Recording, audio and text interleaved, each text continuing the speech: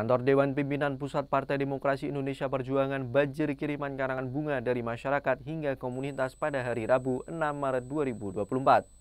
Karangan bunga tersebut terlihat memenuhi area pintu masuk kantor Dewan Pimpinan Pusat PDIP Kecamatan Menteng, Jakarta Pusat. Kebanyakan isi dari karangan bunga tersebut adalah ajakan dan dukungan kepada Partai Demokrasi Indonesia Perjuangan untuk menggunakan hak angket kecurangan pemilu. PDIP juga didorong menjadi partai oposisi usai pemilihan umum 2024.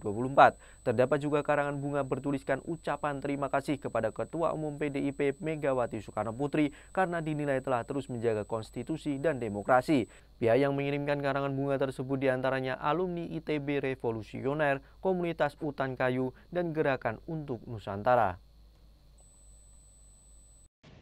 Jangan lupa follow, like, dan subscribe sosial media Tribun Jateng. Download Tribun X sekarang, menghadirkan lokal menjadi Indonesia.